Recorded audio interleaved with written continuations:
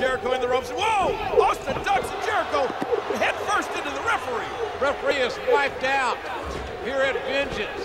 The crowd here in San Diego absolutely going livid.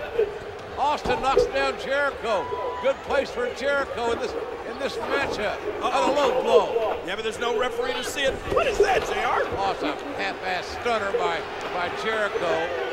Jericho at least take Austin down there. Mr. McMahon.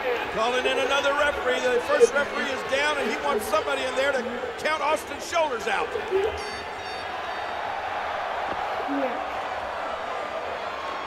Oh, my gosh! No, that's not Ric. Flair!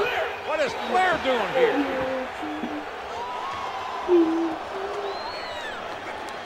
Flair's not got any, any business here. And now Vince sending Flair into the ring post. Oh, man, JR, this is really broken down.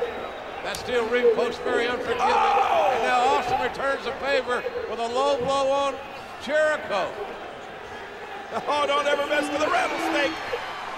Mr. McMahon in harm's way, and Austin is stuffing a mud hole in the chairman and walking it dry. Sit at the. Good job.